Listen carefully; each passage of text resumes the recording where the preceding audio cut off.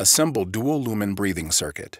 BiWaze Clear allows for four different patient interface options in the hospital a face mask, a mouthpiece, a trach adapter, and in line with a ventilator. To assemble the patient circuit, attach the larger end of the coaxial tube to the end of the bacterial viral filter that has the company logo. Attach the end of the bacterial viral filter that has the oxygen port to the patient port of the control unit. Connect and twist the handset into the smaller end of the coaxial tube.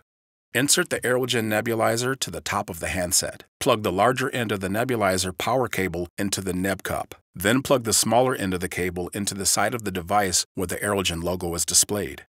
You may have to move the rubber cover to access the nebulizer power port.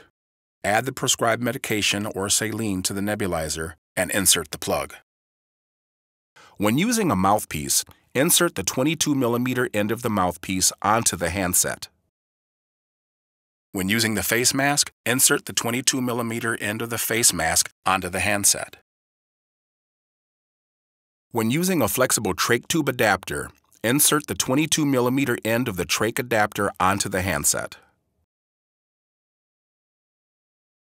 When using BiWaze Clear in line with a ventilator, insert the two-step adapter onto the handset. Insert the handset into a spring valve T adapter placed in the inspiratory limb on the dual limb ventilator circuit, or if using a single limb ventilator circuit, place the spring valved T adapter proximal to the patient.